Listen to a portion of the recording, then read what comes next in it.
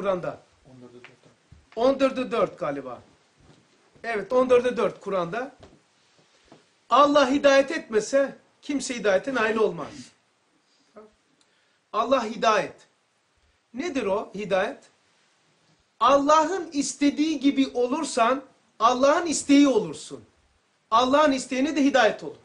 Abi 14'e 4 neydi? Ha 14. surenin 4. ayeti özür dilerim.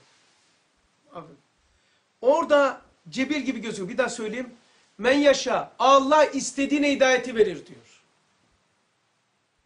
Allah istediğine hidayeti veriyorsa hidayet verilmemişse Allah istememiştir. O zaman benim suçum ne?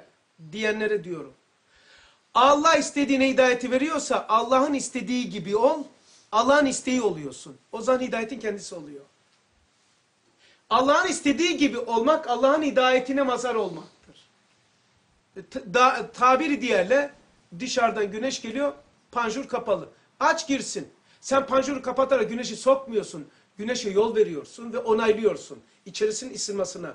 Hidayet Allah canibindeki e, tecelli. Onu onaylarsan eylemsel, onun adı da imandır. Hidayet onaylanınca insanda hidayet olarak çıkar. Camı açarsan içinde çiçek büyür. İman. Diyor ki çünkü onların cüz-i ihtiyarileriyle hasili bir mastar olan hidayete yürümeleri hasili bir mastar netice yani e, davranışlar tercihlerden sonra ortaya çıkan şey.